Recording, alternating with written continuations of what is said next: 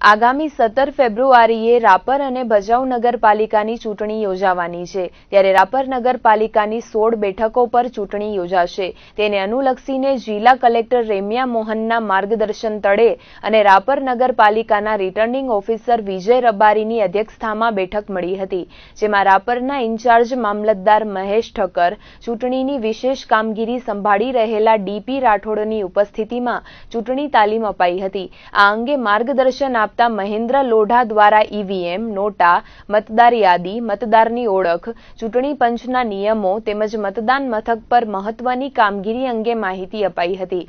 સૌથી વધુ કર્મચારીઓ તાલીમ શિબિરમાં જોડાયા હતા.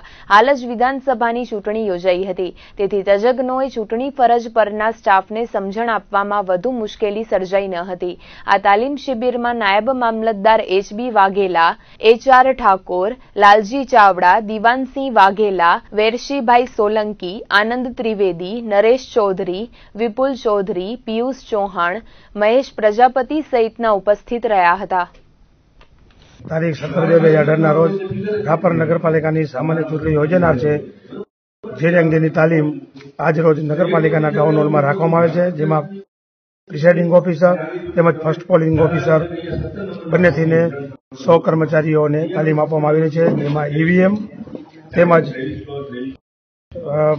તે થિયરી. થિયરીને લગતી